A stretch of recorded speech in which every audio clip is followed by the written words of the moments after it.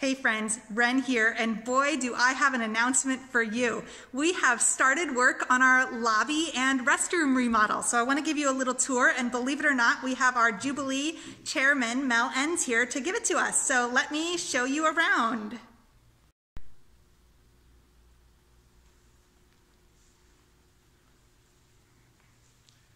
Hi folks, here we are in our lobby. Notice the old carpet is, has been torn up, thrown on a pile. It's all going to be replaced with uh, new industrial strength, beautiful flooring. The walls will be painted. The other wall that uh, Ren showed you earlier that has the exposed pipes, it's all going to be flattened out.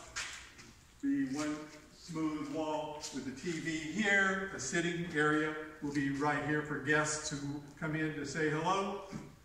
And we'll walk through this mess over to the restrooms and I'll show you how far we are along on that. Not very far, just torn apart. So here we go. We're going into the ladies' restroom off the lobby.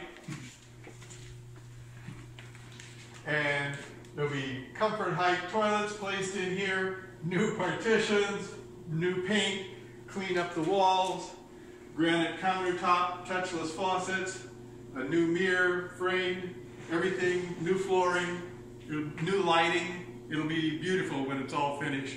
And we're looking forward to being back in church when we can all enjoy it. Thank you.